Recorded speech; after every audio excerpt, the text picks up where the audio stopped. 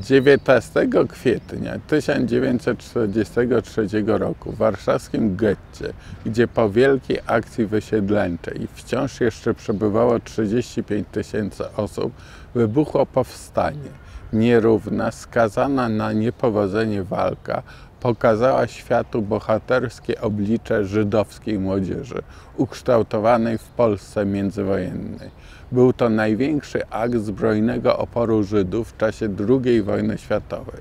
Na czele powstania stała żydowska organizacja bojowa, w skład której wchodzili cały szereg grup sprzeciwiających się unicestwieniu ludności żydowskiej. Młodzi ludzie, którzy stanęli 81 lat temu na czele powstania w getcie, komendant Mordechaj Anielewicz, Hersz Berliński, Jon Morgenstern, Icek Zuckerman i Marek Edelman byli w wieku naszych studentów, których kształtujemy w Szkole Głównej Handlowej, widząc w nich przyszłych liderów. Gdyby przywódcom powstania dane było przeżyć, daliby na pewno bardzo wiele powojennemu światu.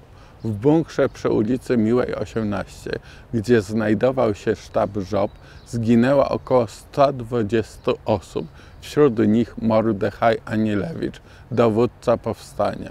8 maja, po trzech tygodniach walki, otoczeni przez hitlerowców zginęli lub odebrali sobie życie, nie chcąc ginąć z rąk wroga.